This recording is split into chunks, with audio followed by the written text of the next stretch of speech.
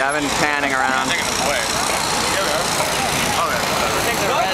Times Square. Oh.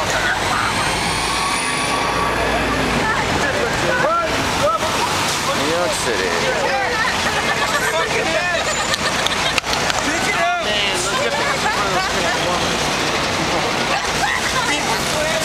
Man,